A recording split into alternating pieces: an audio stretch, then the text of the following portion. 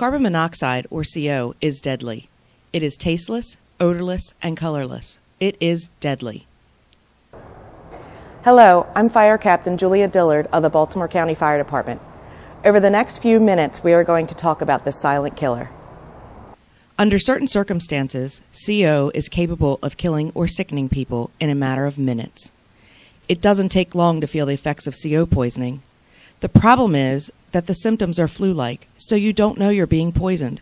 Nausea, fatigue, dizziness, and headache are typical symptoms. Before you know it, you or a loved one could be dying. Depending on the carbon monoxide levels, it is possible for someone to die within an hour of exposure to CO. So, what is CO? Carbon monoxide is a byproduct of incomplete combustion produced when fossil or wood fuels burn. Anything that burns wood or fossil fuel creates CO. Fireplaces, gas or wood fueled, produce CO. Gas fueled stoves or clothes dryers, an outdoor propane grill or generators create CO.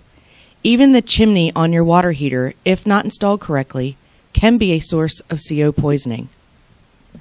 You create the potential for CO poisoning if you leave your car running in an attached garage, even with the door open.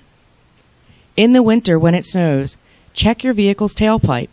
Clear it of any obstructions to avoid CO poisoning. Install CO detectors now.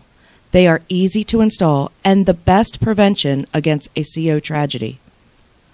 Once the detector is in place, check the batteries twice a year. Even if you have the new 10 year lithium batteries, still check your batteries twice a year.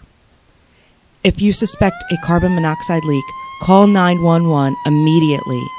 All fire personnel, including EMS personnel, carry CO detectors or meters.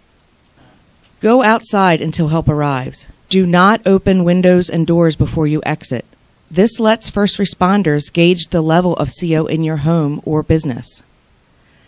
The level of carbon monoxide determines how rapidly an individual can be poisoned, become ill, or even die. There is no safe level of CO. Small amounts can sicken you over time. Large concentrations can kill you within an hour.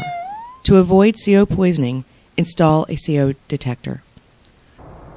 For more information on this and other safety issues, visit our website at www.baltimorecountymd.gov.